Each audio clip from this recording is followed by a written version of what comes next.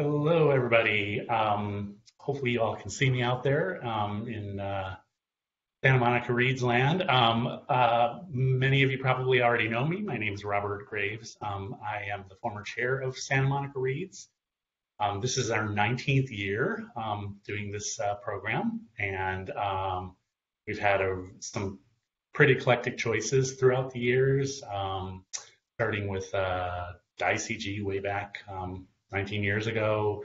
We've had Khaled Hosseini's uh, The Kite Runner. Uh, we've had RJ Palacio's Wonder. We've had a children's book. We've had um, uh, Angie Thomas's The Hate You Give. Uh, last year we had the library book. Farewell to Manzanar. Um, many of you have been with us for many, many years, um, and we really appreciate you all coming out and kind of sharing a love of reading and uh, uh, community discussions and kind of building community through uh, um, sh our shared love of reading. Um, this year, our book is uh, The Pull of the Stars by Emma Donoghue. Emma Donoghue, I learned how to pronounce it correctly, who's here with us uh, from uh, um, London, Ontario, right? That's right, though I'm actually speaking to you from Dublin tonight. I'm oh. here for the filming of one of my books, The Wonder. So I got to ah. visit set yesterday. So thrilling. Ooh, okay. Yeah, uh, I have a note, note, about that. So, so let me go ahead and do an introduction of Emma. Um, Emma got her start in 1993, I believe, with uh, Passions Between Women, which is one of three works of literary history she's written so far. Um, she's written eight plays, including a couple of adaptations of her novels and short story collections. Uh, she's published at least four short story collections, as well as a short story ebook in 2011. Uh, she has also written a uh, children's book series, The Lotterys, uh, in which there are two installments. Are there more of those? Or maybe? Hmm? Only in my imagination. Okay. So many series don't continue past the second. Great. And um, and so far, 11 novels, including um, many award-winning. Uh, the first novel, Stir Fry, in 1994, to what was probably a big breakthrough for you with Slammerkin in 2000 um, onto uh, your best-selling hit Room um, in 2010, which you wrote the Oscar-nominated screenplay for several years later. Um, recent works have included Frog Music, which is a thrilling, um, almost mystery novel um, about the murder of, in 1876, of Jenny Bonnet, who is kind of a transgender pioneer. Um, and The Wonder uh, about uh, the baffling fasting girl phenomenon, in which young girls stopped eating and subsist on manna from heaven. And as you mentioned, that's um, starting filming right now. Um, you wrote this, you co-wrote the script for that again, so uh, we'll see. We'll see how that comes out. Um, um, I know uh, filming right now in COVID land is probably difficult all around. So hopefully, uh, we're wishing you all the best of luck. Uh, that film will star uh, Florence Pugh and Belgar. Um, and it's your second feature, like I said, after the adaptation, Oscar-nominated adaptation of Room. And that brings us up to um, probably an almost eerily uh, prescient uh, novel, The Pull of the Stars. So, um, welcome, Emma. Thank you so much for joining us today. Um, wow, from Dublin. What time is it in Dublin? it's um, 10 at night. Oh, Not too okay. bad. I have an event okay. in a couple of weeks that's at midnight. So, you know, Oh, yours is a nice afternoon slot, which translates into 10 at night for me. Great. Well, at least we're not keeping up till the wee morning. Um, so, uh, can you start out with um, telling us about the origins of the Pull Stars? How did how did it come about? And Sure. Um, I, it's been kind of embarrassing to have a novel published with such, in publishing terms, lucky timing, because the last thing I thought I was doing was writing about contemporary life. Um, I would say about two thirds of my novels are uh, historical fiction, and I love the kind of grip of fact. Um, I, I love that element of the real. Um, so I've often chosen obscure moments in cultural history. And oddly enough, even though the, the Great Flu of 1918 um, was a big deal, it's hardly a secret, but it's never got its fair share of attention. It was sort of overshadowed by World War One. I. I often think if it had happened in 1930, it would have really loomed large, but it got almost forgotten as this just terrible, weird new horror that broke out worldwide at the end of World War II. So um, I, I literally read an article about it and thought, I should write something about that flu. That sounds really interesting because these were such modern city lives in many cases that suddenly ground to a halt um, under the privations of the Great Flu.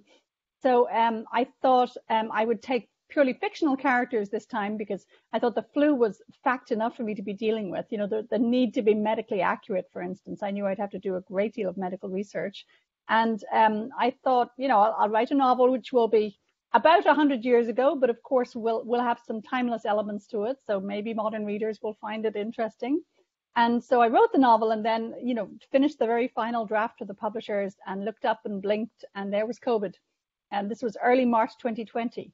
And um, my publishers said that they wanted to rush the book out by July. And I, I felt honestly embarrassed that anyone would think I was trying to take advantage of this crisis. But then as soon as we started publishing the novel, I realized that this would give me the chance to talk about healthcare workers and how amazing they are.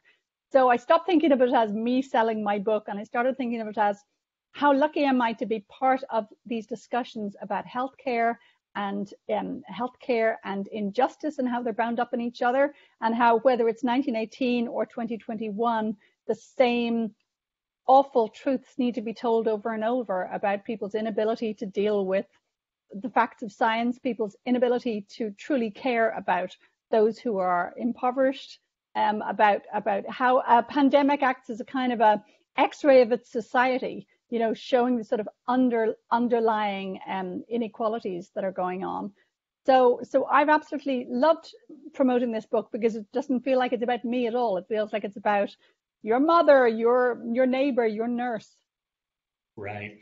Um, do you kind of shake your head at like how resonant like so many elements of the book like you read it so and you see so many parallels and you know today. i didn't need to i didn't need to add anything. Um i was i was copy editing the book in um april i mean sorry when i say i'm copy editing i mean totally expert copy editor does the copy editing but then i have to respond to every little thing. I was so lucky that first of all i my copy editor is an emergency room doctor as well um she just is equally zealous and scrupulous at both those jobs so she was able to catch some of my medical errors. And then I also hired a midwife to read it. And she was at a home quarantined because of COVID exposure.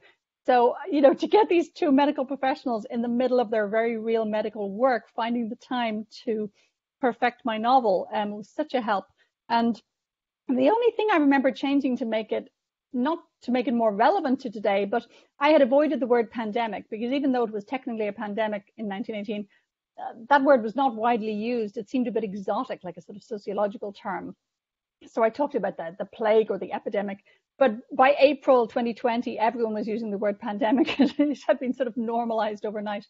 So that's the only thing I remember changing. Um, everything else, I just decided, uh, you know, I'll, I'll, be able to write something which is m- more true to today by being as accurate as possible about 1918 and saying how did it play out in those days because you get the perennially the same things happening. Um, for instance, uh, there's a sort of running motif in my book of um, propaganda posters. Um, you know, the stupid things that governments say, basically. So there's, um, you know, false reassurance. Uh, there's, um, you know, um, unscientific suggestions. You know, people are told to eat an onion in a day back in 1918. Like that'll keep you healthy, or or keep a cheerful mindset. You know, because you know giving in to despair will allow you to catch the flu and it'll benefit the Germans. So if you just keep a cheerful mindset, that'll keep the illness at bay.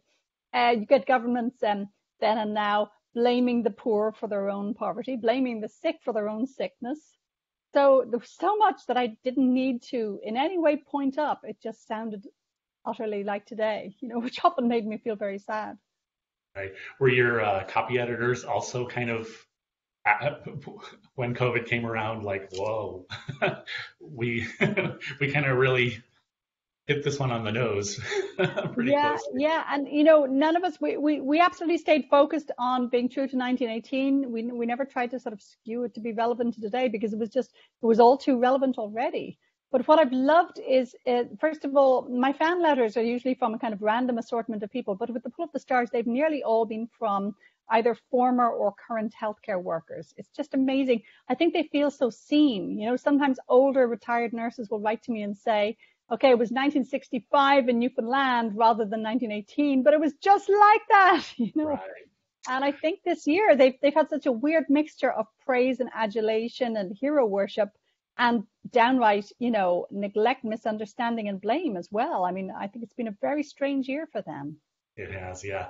And actually, that's one of the things when we we pick a book for Santa Monica Reads, we really, uh, you know, uh, it's a book about something, but we also want these kind of multifaceted kind of themes that we can pull out uh, out of the side. And one of the programs we did early on was uh, we we did a uh, online panel with two uh, medical professionals who were kind of telling us how it it kind of resonates for them today as well.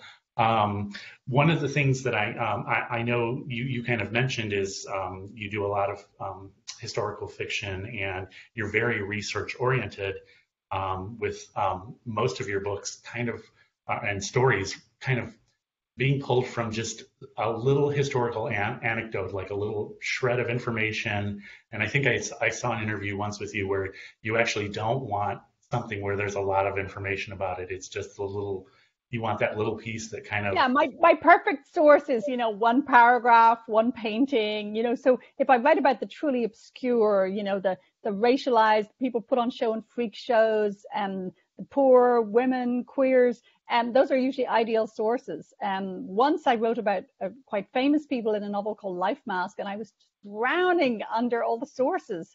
And one of my characters, Horace Walpole, he left about 60 volumes of, of diaries, which have been published and letters.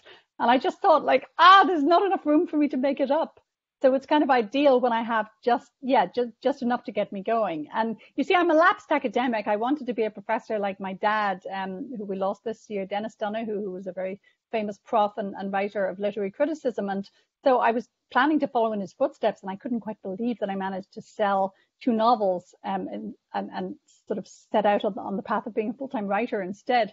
So I love doing that element of original research um, and then putting on my writer's cap and getting to make it all up.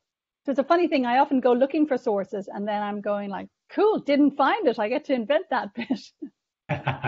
it's a win-win because if I find the source, it's probably very interesting. And if I don't find the source, I'm like, haha, invention.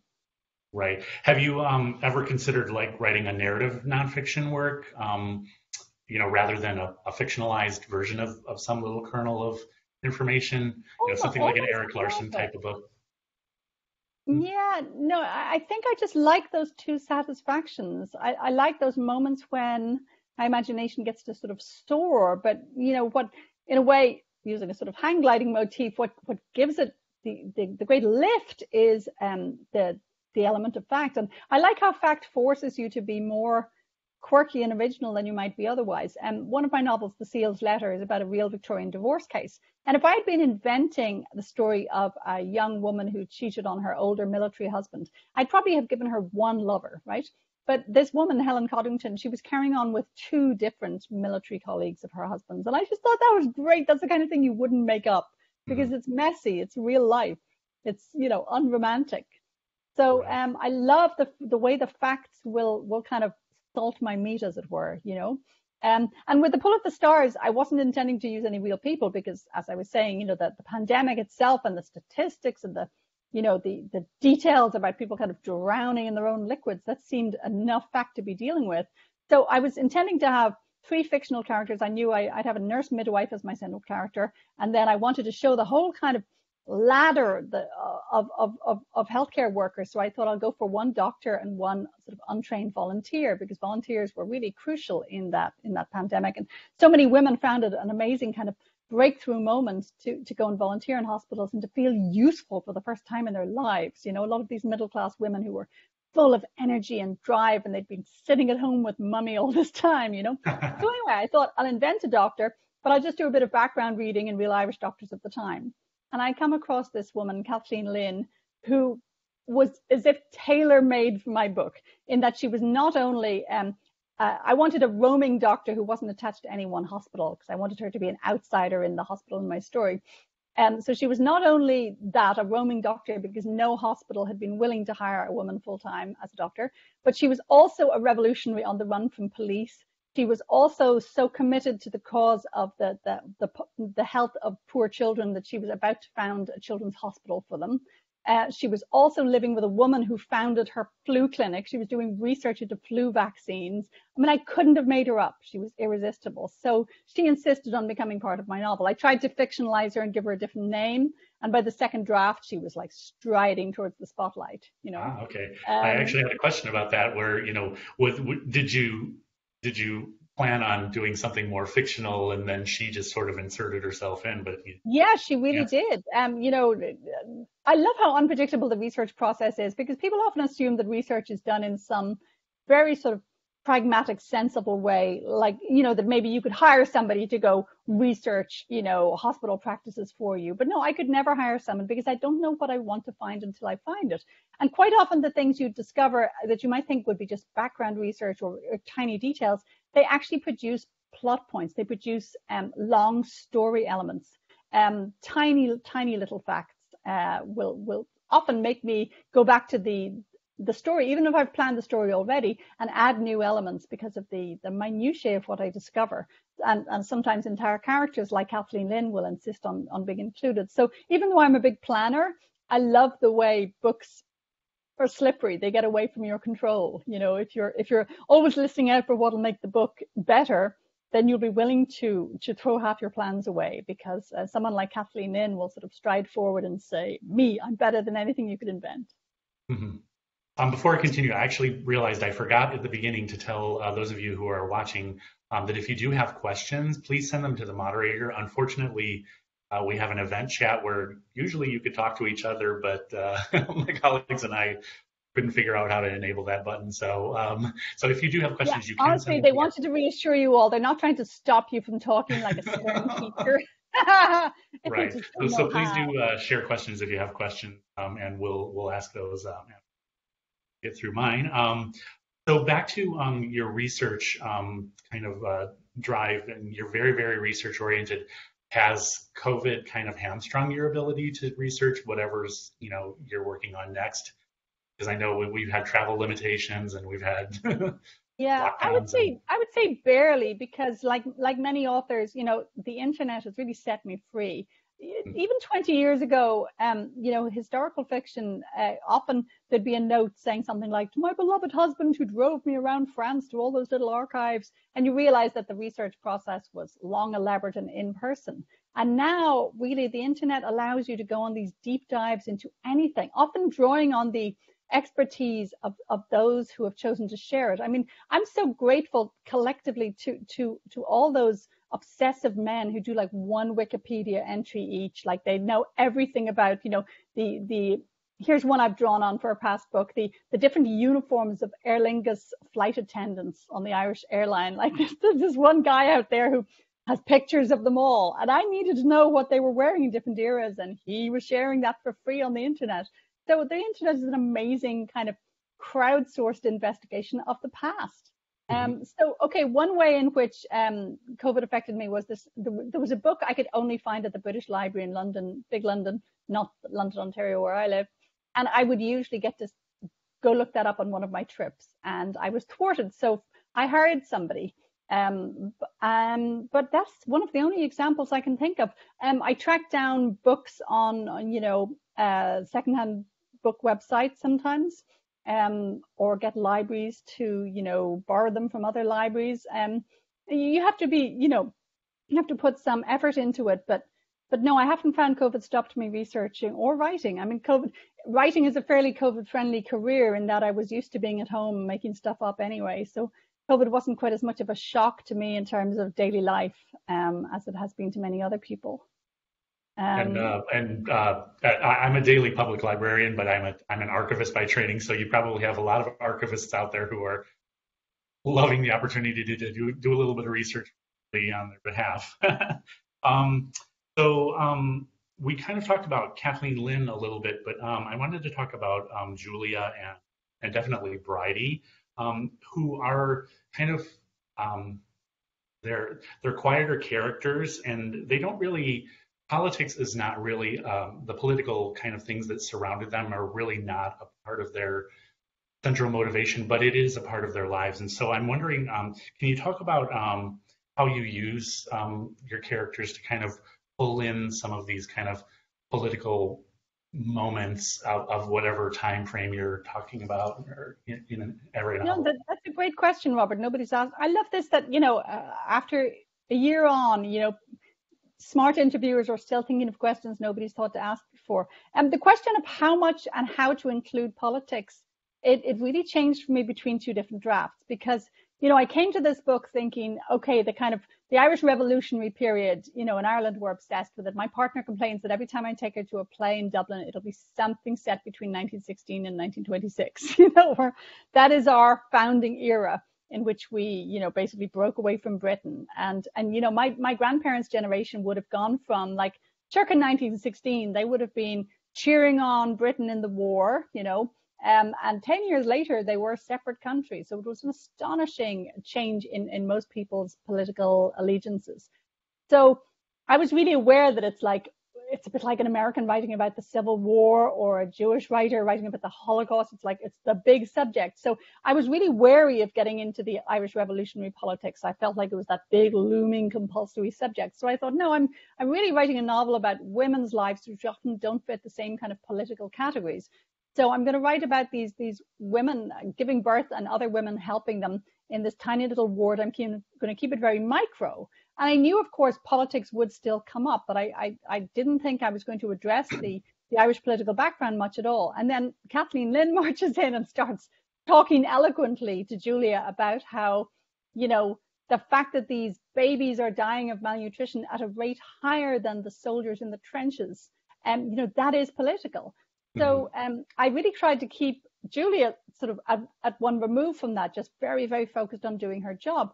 And I remember my my um, my American literary agent, Kathy Kathy Anderson, she said to me, what she said was, in in the age of Trump, you either have to write a novel which is pure fluff, or a novel which takes account of politics, because people either want a complete escape or they want something that addresses the, the big questions of their time. You can't be half-hearted about politics. So she said, I think Julia would have opinions and she, she can't keep her distance. So I rewrote the scene and I have Julia say, "Oh, I'm I'm too busy for politics, no time for politics." And then Kathleen Lynn says to her, "Everything's politics." Um, and I, I, really thought that that made the novel stronger. That it's it's not that Julia suddenly goes and joins the revolutionaries, but she begins to see that a moment like a pandemic is is this really bright light exposing and the underlying decisions that have been made about basically who gets the food, who gets the services, who gets the access. So, you know, when I would see a, an Irish propaganda poster saying things like, you know, um, keep clean and ben- well ventilated and well warmed, and then I would look at photographs of this damp, hideous, moldy buildings in which families were living, you know, two family to a room in old houses. And I would think, you know, how dare a government tell its citizens to keep clean and well ventilated and warm when they're living in slum conditions? So in a way, I got more political writing this novel, and I, I allowed Julia to start, even in the middle of her busy, busy days, to start those to ask those big questions. And doesn't come to any simple answers, but in a way, the most the most political, the beginning of any political education is just to start asking the big questions. Right. That's that's kind of one of the things that I kind of liked about the novel the most, which when we were making this, uh, our selections was kind of the quiet ways those those threads came into the story. It, you don't bang people over the head with it. it. It's you know it's just a part of their lives. Um, and I, I think it's I, it's interesting how you have Kathleen Lynn and then you have Julia and then you have Bridie, who's just kind of this I don't know, she's just like a little bright light going through. Like she's not aware of any of that stuff. It's just, how can I help?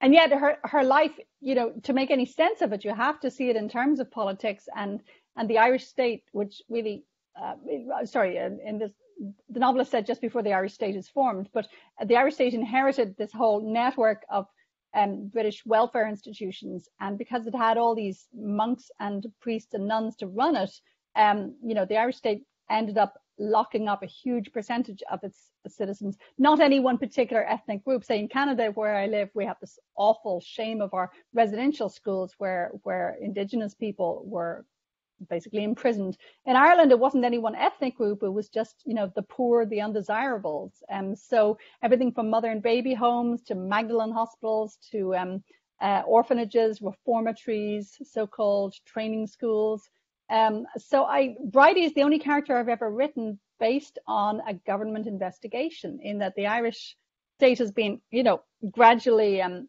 coming to terms with its hideous history.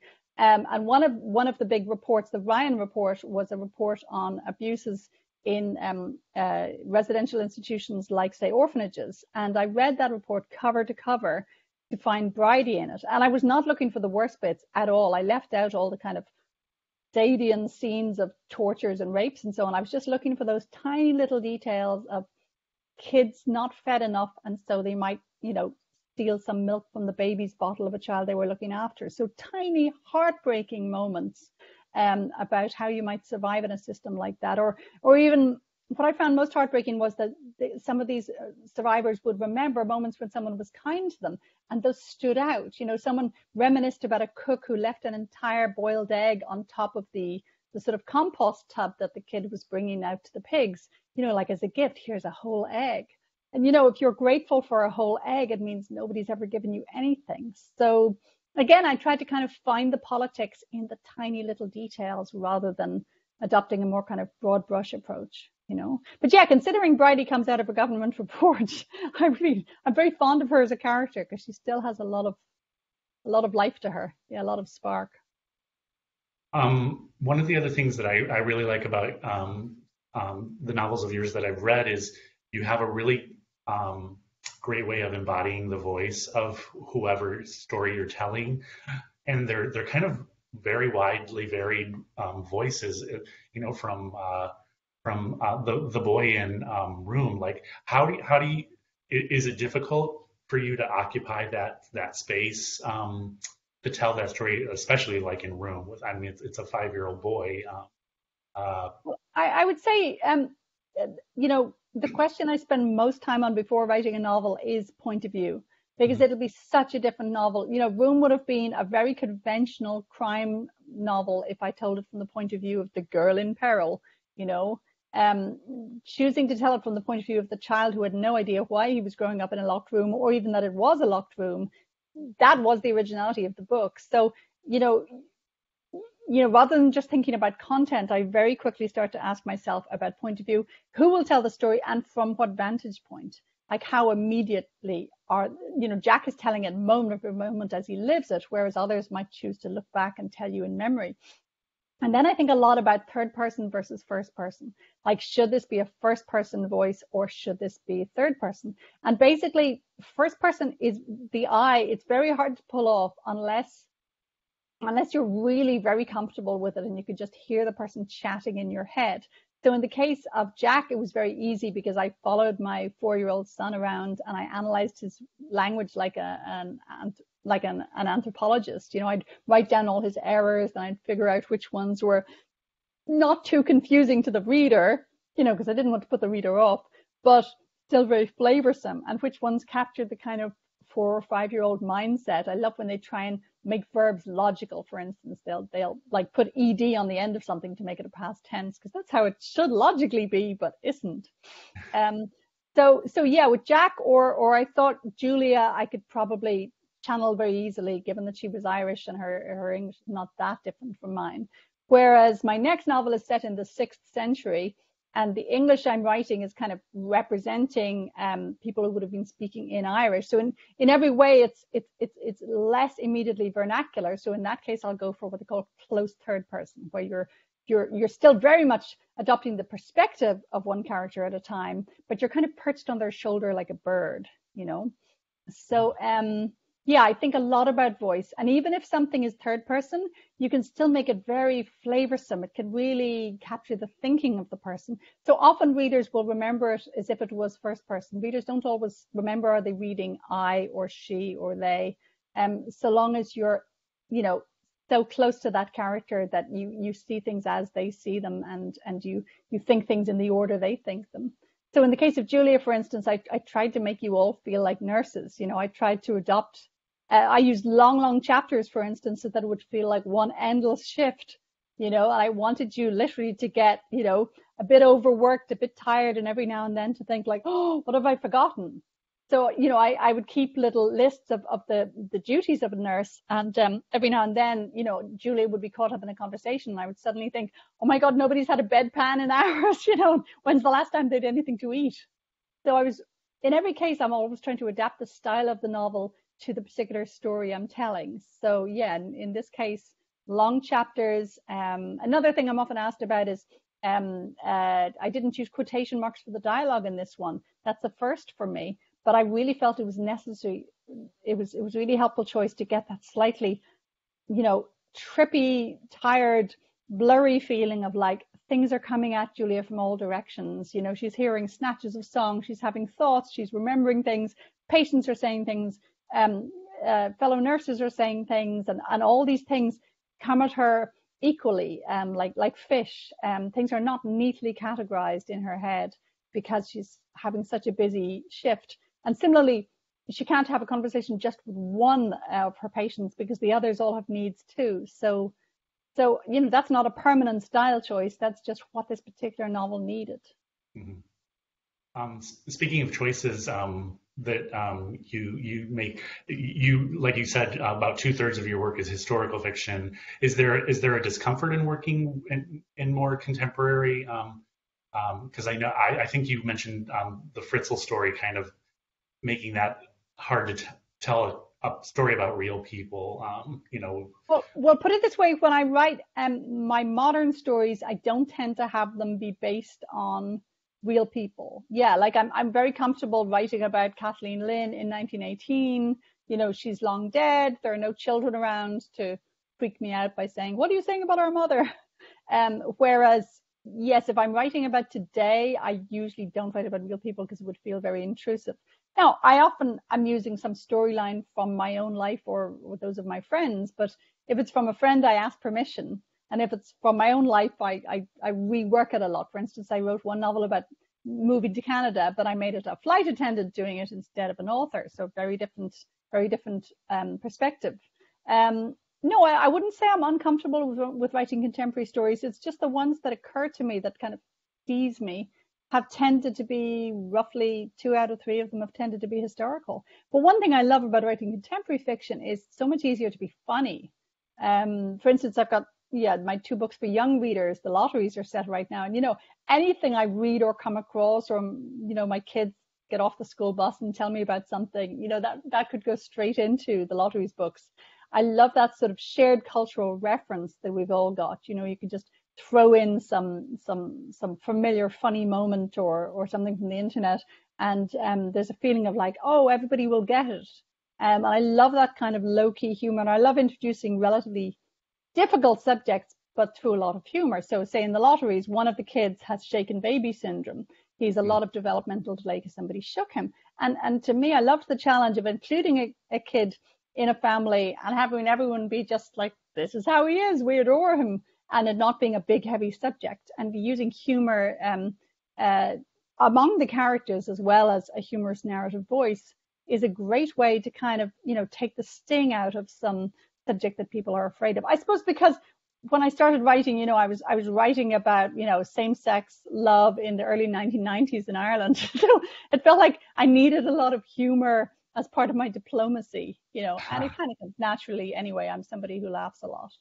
Um, but yeah, no, I absolutely love working in, in contemporary uh, fiction. I love the way I can sort of throw in, you know, everything I come across or, or experience. Um, it's it's a great kind of, you know, almost uh, scooping up of material for my daily life, and I really enjoy that. Whereas my historical ones can sometimes feel a bit like, here's another grim, dark story you have to tell, Emma. you know. Yeah. Um, so um, let's, uh, we've been going for about a half an hour now, and I, I did want to turn to some of the um, audience questions. Yeah, yeah. Our audience questions, but for that, the, uh, um, I have some co-moderators here, and I, for some reason, I can't see the questions. I'm wondering if they can. You know, I'm looking questions. at the Q and A, and I'm seeing oh. a question from Meredith Luria. What oh. is Bridie's motivation to pretend she's had the flu already? That is an excellent one. Again, nobody's ever asked me that, Meredith. Thank you. um, I would say okay, Bridie was inspired by a real volunteer. There's there's a book on the on the flu in America by Nancy Bristow, is it? Um, American Pandemic, it's called. And in those pages, I came across one particular volunteer who came to work at the hospital and um, caught the flu and died all in a week. You might say, oh, terrible, she must have wished she'd never done that. But no, on her deathbed, this volunteer said, this has been the best week of my life. And I was just, that would be an example of one of the tiny things you come across in the research, which suddenly, you know, you were just going looking for details, but what you found was entire storyline there. So I thought, okay, how could that possibly be true? How could it be that exciting to volunteer at a hospital? And I thought, well, there are various ways that could be true. If you were very, you know, comfortably bored middle class, it could be exciting to suddenly be up to your arms in bandages and blood. But equally, if you were someone who had always been treated as lowest of the low, um, for you know, if for instance, if you'd grown up in the in the in the Irish sort of pipeline of residential institutions, one of the things the survivors talked about a lot was being made to feel worthless. You know, being told, oh, you know, we spend all this money looking after you, you owe us, you have to pay us back because you are worthless. And and the paradox is that the kids in these organizations they were worked so hard. For instance, industrial praying, they would have to, you know, pray en masse um, to, you know, novenas and so on to earn money for the religious order. So, you know, everything about them, even their prayers, was was was was rented out. Um, so I thought somebody like Bridie could actually find even volunteer work in a hospital hugely engrossing and meaningful. And so I liked the idea that, you know, when when when asked about whether she'd had the flu or not, Bridie would be inclined not as a cold-blooded lie, but she just she wouldn't want there to be any obstacle. You know, she'd want she'd want to help, she'd want to stay, and so she'd say like, "Oh yeah, yeah, I've had it." Um, so so she's just so enthusiastic about doing meaningful work, even though it's not paid, even though it's not hugely high status. But um, I think perhaps because you know the history of women has so often included women not having their capacities fully used, or women being kept at home rather than out in the world, perhaps that inclines me to maybe slightly romanticized work even that if you found meaningful work it would just be like the best thing you know um yeah so so yeah i mean bridie's whole storyline came out of that question of whether your world could be transformed by a few days of meaningful work even as your body is being transformed by a virus without you even knowing it. You know, could I could I do all that in three days was a big challenge basically that I asked myself. So thank you, um, Meredith. You mentioned the three days. Um, I I wanted to ask you a question about the, that's another thing that um, we kind of really liked about the the novel was um, the the really compact um, that, that it took place over a short amount of time and it made it more thrilling. And I noticed that's actually, that happens a lot in, in, in your work you, where you, you really kind of. I love limits. It's true. Um, you know, I, I started writing plays even before novels.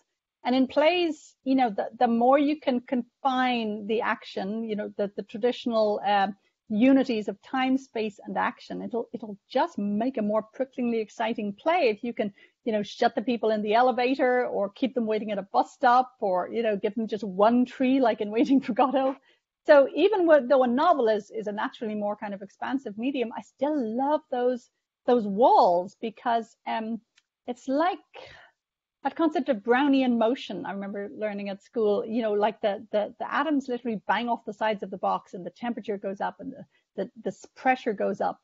And so if you confine people together, um, first of all, it's a great way to show their relationship happening very fast. Again, I thought, could could people fall in love in three days? You know, if you if you shut them together, obviously they can annoy each other, but they could also um, be fascinated by each other and change each other's lives. And I wanted both um, I wanted Dr. Lynn to change Julia's life and Julia to change Bridie's life and Bridie to change Julia's life. And, you know, confining in them in this kind of human petri dish was a great way to do that.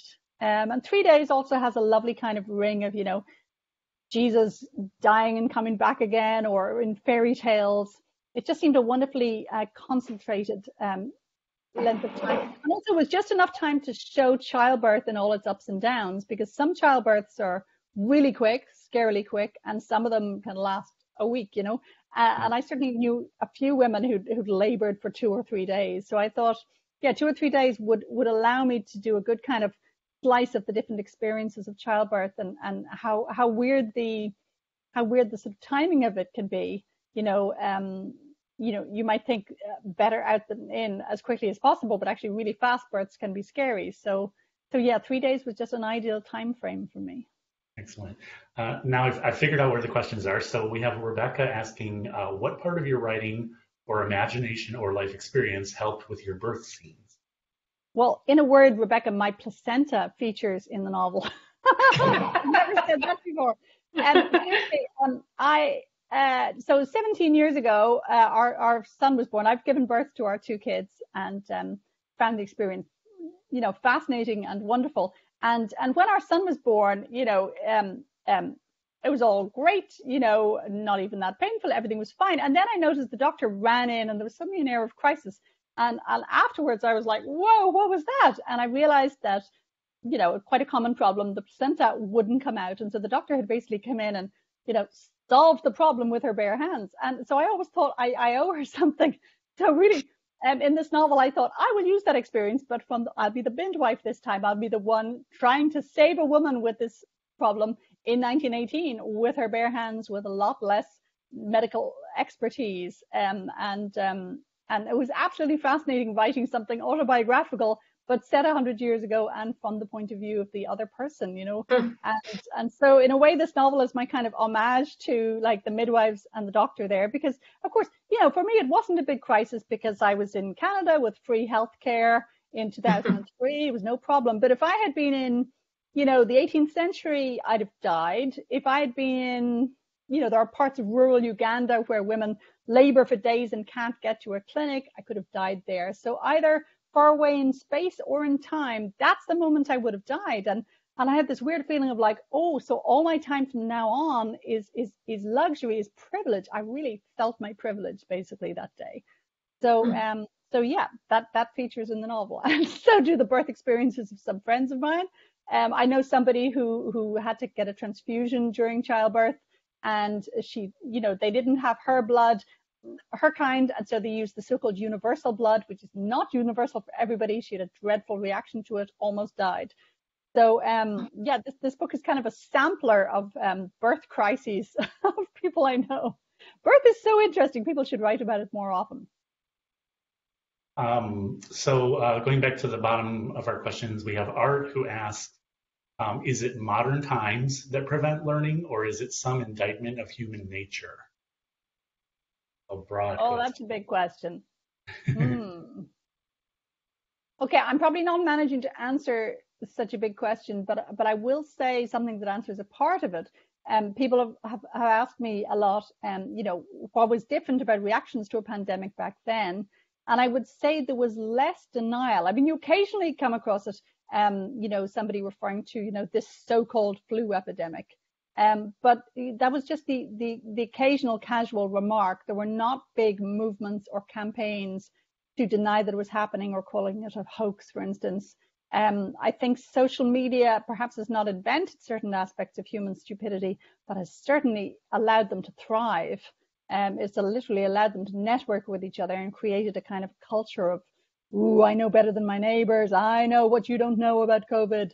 Um, so I'm, I'm really not seeing any of that back in 1918. So it was much harder for accurate knowledge to to be discovered and shared back then, but there was certainly a lot less active disinformation. There were no Russian bots. There were no, you know, trolls deliberately spreading lies. So um, in some ways, I have to draw the conclusion that we have collectively grown stupider. Yeah. Um, so uh, you probably have already answered this one, but Bettina um, asked, why didn't you use quotation marks? Did you ever use them at one point, like maybe in an earlier draft or? No, it's not that I did it in a draft, but I, I sweated over the decision because I'm well aware that, that some people um, find it so difficult to read a dialogue that doesn't have quotation marks. And, and some people are so irritated by it in not just in in my book but say in the works of people like Cormac McCarthy that they they would just shut a book immediately. So i knew there was a danger i would lose some readers or that others readers would find it hard to follow. And some people have written to me and said why don't you use any punctuation? And i think whoa i just there's one kind of punctuation mark i didn't use. And some people are experiencing that as a kind of a you know death of all punctuation. Um i I just felt this book, I felt stylistically it would give me what I wanted, this kind of blur. I mean, in a way, the book is full of very precise details about, you know, things like placentas. Um, but I also wanted it to feel atmospheric and to capture the kind of exhausting, bewildering atmosphere of, of these long shifts in which your attention is pulled five different ways and you're, you're desperately trying to um, triage all the time, you know, work out who needs you most at any one moment, or, you know, whether you prioritize cleaning up vomit from the floor or checking somebody's, uh, you know, labor stage. Um, so I, I just I had a feeling that the the kind of, you know, slightly extra work a reader needs to do to understand who's speaking when, that that it would work for this particular novel. Um, and um, I noticed several of the publishers who are translating this book have written to me to ask permission, like sort of in French, can we please use, you know, our equivalent of quotation marks, and in Portuguese, can we please? So I, I know it is difficult for some readers. Um, I just stylistically, there's something in the work of those who do it very well, the the no quote marks, like say Roddy Doyle and Ali Smith. Um, it it can create a wonderful kind of seepage in that the the dialogue is not just kind of neatly contained away from the narration. It's as if thoughts and words spoken and even words sung all exist in a great kind of soup of words. Um, so, so that's what I was going for with this one. Um, but you know, I'm right back to quotation marks for the next book. So I really try not to have a house style. I really try and always ask myself, what does this book need? Like, does this book need my next book, the, the early medieval one, is really short. I felt it absolutely needed economy and shortness, whereas my book set in the late 18th century about rich people became very long and lavish. So I'm always trying to serve the particular needs of this this book, this story. Um, so Nina asks, um, did you consider alternate endings to the book, and what was your process of writing the end? Yeah, I never considered alternate endings because because I suppose I I I imagined Bridie from the start in terms of her last three days. Um, I, I I'm a big planner, and I I've often been inspired by facts. Say my my novel Slammerkin um, ends with an execution, and it was always inspired by that particular historical incident. So it's not like I was just writing a story and saying, "Oh, which way might this go?" I was always writing toward that point, like a like the vanishing point in a in a very strict drawing, you know, the kind of drawings kids have to do at school, showing those lines of perspective. You know, I, I love when all the elements converge in something which may be highly painful and distressing, but which feels true in some way because because the pattern is complete. And and writing is is often so much a matter of, of dropping in tiny little, not just hints, but patterns of imagery, say, which lead you towards this point of like, oh, that's how it had to end. I mean, it's it's so sad, but that feels somehow artistically right. Um, so so yeah, I had planned the novel from the very beginning to lead towards the point where it got to.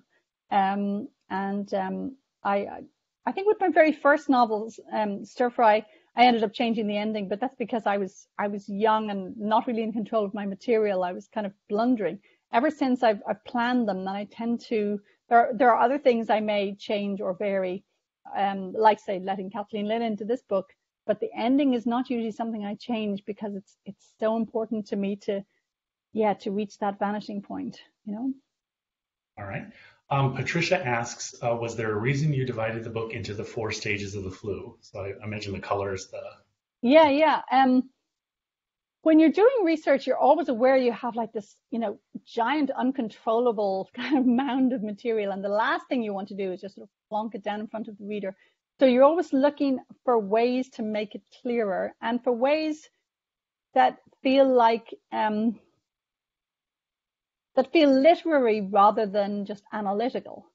So, you know, rather than have the doctor say, give a speech in which you sort of analyze the, the typical course of the flu, I was looking for a way of doing that in say, you know, sort of imagery. So when I came across the, the color thing, the, the fact that um, some people got cyanosis, and in the case of uh, very pale people, such as most of the Irish have been, um, it, it, showed up very dramatically as, as this darkening color and very particular purples on particular bits of your face.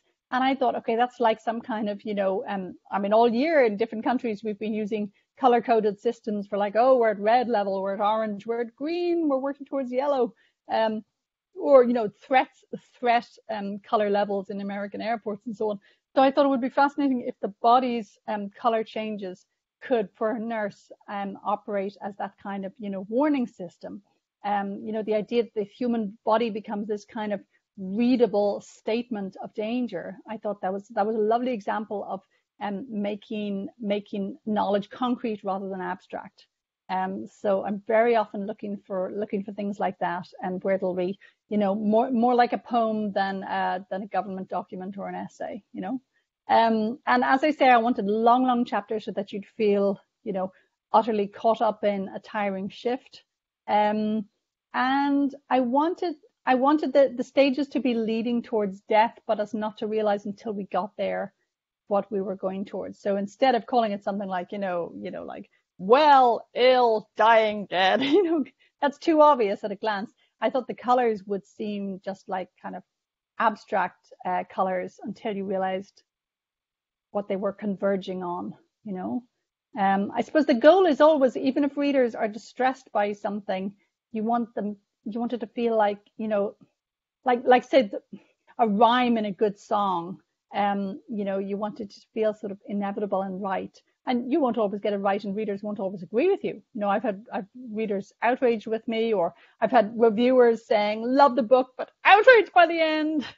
But when that happens, it's so nice because it's like they care so much about these people I have made up out of words that they're willing to fight me about what they think would have really happened. And that's that's superb. Um, that that feeling of like you know all of us together believing in these made up people. So I, I don't mind if anyone wants to uh, you know fight me about how I've treated my characters because I'm like, oh, this is amazing. You believe in the characters. Love it. Um, Beverly asks, when did it occur to you to launch a same-sex relationship between Julia and Bridie, and how did that contribute to the themes of the? I'm trying to remember that. Yeah, because like it wasn't my original thought. I wasn't like, oh, I will set a love story in a in a maternity ward.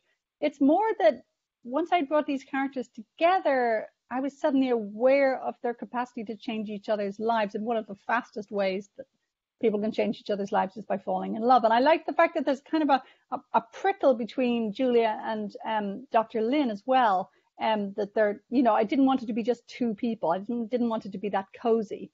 Um, I, you know, I, I, I like writing about love, but I like it to take you by surprise. I don't like it to feel like, you know, and obviously sort of set up romance. So I, I liked the structure of having these three women who are so important and they all affect each other's lives in different ways. Um, so I don't remember, but it would have been quite early on in the planning process. I do a huge amount of planning, and you know, this sounds, you know, like I'm, I'm a bureaucrat, but it's more like I uh, do a huge amount of daydreaming and mulling it over. Um, I often think of my novels years and years before I write them, and in the Pull of the Stars, it all happened relatively fast, but still, I would have had quite a few months of like, okay, if I if I set my novel, say an early decision was that I would go for a maternity ward because I came across again this tiny little obscure fact, which was that um, some of the, the people most vulnerable to catching the flu and having terrible side effects were women in late pregnancy or just after birth. So that made me think, okay, I'll go for a maternity ward. And then who's going to run the maternity ward? So this gives me Julia. And then Uh, when I was trying to work out how you would make a bed, like change the bed of, of a patient, and I realized you need two people. You actually can't follow the procedures you know, rolling them and changing the sheets and so on without two people. So that, in a way, that task gave me Bridie because I thought Julia needs somebody to make the bed with her. Who's that?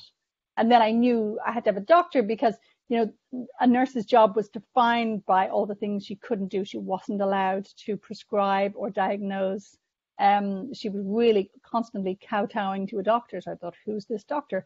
So in a way, the, the actual realities of the job produced my three characters and and then I suppose fairly soon after that I would have I would have thought of love blooming between them and um you know we're always afraid to write about love in a sappy way and there's nothing like death for uh you know taking some of the sugar out of the drink you know um I loved the idea that I could set up a situation which was so grueling that I could allow a very beautiful and spontaneous love to develop in it without it getting too sweet or sappy because I, I knew that death was always hovering. Um, so you know that gave me a lovely kind of darkness to set the brightness against in literary terms. Though I'm aware, you know, this makes my readers suffer. You know, being a novelist is is quite a strange job in that some of your some of the ways in which you're treating your readers are, you know, cruel. I am very aware of that. You treat your characters cruelly and you treat your readers cruelly, you know? Right. Yeah, I do worry about the ethics of that sometimes. Why do I get a kick out of making people cry? Uh, well, honestly, oh, question about Tim. Good. Yeah. Oh, I'll, let me get. I do have a quick question about uh, Julia and Bridie still. Um, follow up on that. One um, one of the things that we really liked about the book when we picked the book was that there was through all of the bleak storyline, there was still this like tinge of hopefulness at the end, and I think that just kind of that discovery in Julia, um, you know, in herself was was that was that was just like a beautiful kind of. It was like she finally blossomed. There was a bloom where she suddenly, oh, okay, you know, she emerged from this awful, you know, crumbling earth. You know, anyway, that that was what, I took from that um, that kind of ending there. No, you're right, uh, and and it's funny. Novelists sometimes get, you know, readers sometimes criticize them saying, "How could you kill that character off? That's not fair to them. They're wonderful." I'm thinking, I know that's why I gave them a good death because when we want to be nice to our characters, we basically give them page, we give them page time, we give them more room to speak, we give them a more memorable um, scene. Um, so, so you know, killing our characters off is not a sign that we're in any way judging against them or or being mean to them or not seeing their value. Um, in a way, for us, our novels are never finished, right? They're always in the, on this sort of eternal loop every time someone reads them. In a way, it's, it's like a video game. You know, Bridie comes to life every time somebody opens that book. So giving her giving her a, a, a death that feels right, giving her a beautiful death is it's like uh, giving someone a great role on stage, you know, and then and they get to replay it every night. Um, so yeah, I, I, uh, and that's why I'm I early on I decided to to have some moment where um uh, somebody would hear that bit of Wagner playing, you know, the whole idea of, of love death as a as a single beautiful artistic moment. Um, that's that's kind of vibe I was trying to go for. And then we have Daniel's question. I love the character of Tim and his quiet domesticity, a kind of role reversal with Julia, who is out working as a professional. Was playing with gender roles here deliberate? Yeah, I mean, this this I was out of a practical question. I was thinking like, okay, where does this nurse live? Obviously, she could live in a dormitory with 20 other nurses, but I don't really want to introduce 20 more characters when she goes home to sleep. Um, so I looked up the census to see where nurses lived, and I found a couple of them lived with their brothers. And I thought, oh, that'd be a good situation where she's, you know, spinster, not married, and not having children. I wanted this contrast between the women having the babies and then the the, the non-mothers who are helping them have the babies almost like kind of a, a priestess caste of, of, you know, childless women helping the babies into the world. Um, I thought that would really undermine the kind of, you know, distinction between, you know, women who have babies and women who don't, if I sort of brought them all together on the ward. But anyway, I was thinking, okay, so she lives with her brother. What's the story there? And I, I knew that the war was going on in the background and then I wanted to show it as real, but without spending many pages on it. Um, so I thought, well, if he's back from the war and if he's damaged, that would be a lovely way of suggesting the war without going into great detail. And I decided to make him be, you know, traumatically mute after the war. And that, strangely enough, put him in an oddly wifely position and that he's not able to go out in the world and do public jobs and he's very shy and afraid of people. But he's, you know, many of the activities that these men were recommended to do um, were highly therapeutic ones like um, gardening and cooking and so on. And and sort of homemaking. And so I thought actually Julie is ending up with a kind of a wife figure, um, which is really interesting considering we tend to think of, of the war in often very conventional terms of like the men went off to war and the women scrimped and sewed and cooked at home. Um, so, so yeah, a very interesting role reversal there. Um, and even the fact that they're brother and sister rather than a married couple, it, it was a, it was a different way of writing about a kind of domestic pairing. And of course, you know, the, the idea of the baby at the end is going to is going to further emphasize the kind of, you know, oddity of their family and what each of them brings to the mix. Um, Tim is the only character I've I've written who who doesn't speak, and I really enjoyed the challenge of of writing him as clearly very, you know, attentive in these conversations and very caring about Julia and lots to say. And there are things he like he doesn't he doesn't want to talk about being beaten up, and he does want to talk about um, you know Julia's birthday, say, and he needs to do all this without dialogue. So it was a it was a very interesting challenge, you know. Um, I think I think writers are often seen as feminist if they write about women, but actually I think the way we write about men is just as important. So I'm I'm very interested in writing about sort of non-traditional men, you know. Um, right at the last minute here, Susan has popped in a question. Where can we find copies of your plays to read?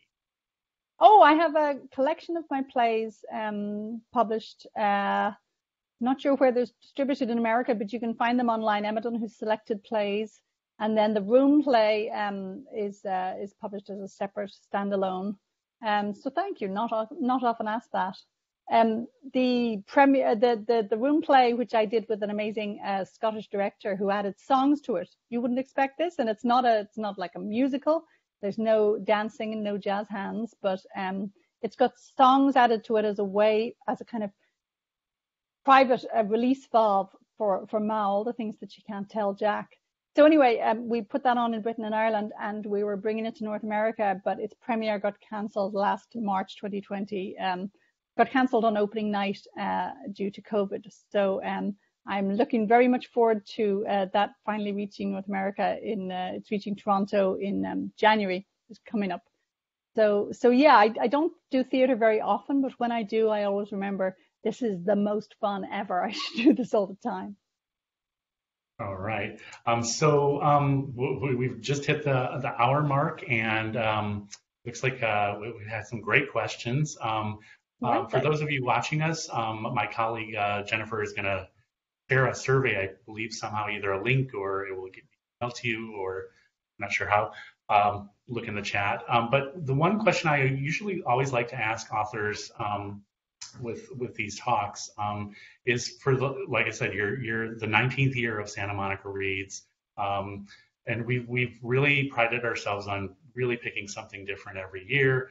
Um, but really, the point of Santa Monica Reads is building community through a love of reading and sharing a love of reading. So, um, passing it forward, is there anything you recommend that um, just loved recently, or is you know just a all-time classic that you think everyone should um, read? any... Okay, this is not a very original choice because it's won so many prizes this year, but Maggie O'Farrell's novel Hamnet is mm. just beautiful because you think it's a kind of a tied to Shakespeare novel and that it's about his family back home.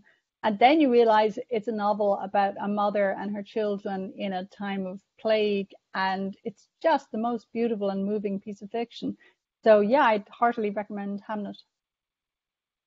Um, well, um, I think that's that's that's all for us. I mean, it's almost bedtime for you, probably. So, um, so thank you so much for joining us, Emma. Um, we really appreciated it. Thanks to everybody um, who's been watching us. Um, thank you for book discussions and coming to our special programs.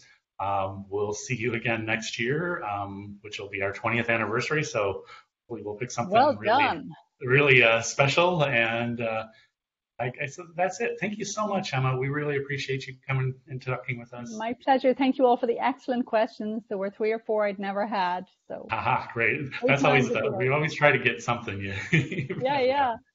So. Thanks, Robert. Right. That was Thanks lovely. So, good night to you. Um, good afternoon to everyone else here and uh, mm-hmm. watching us, and uh, have a great day.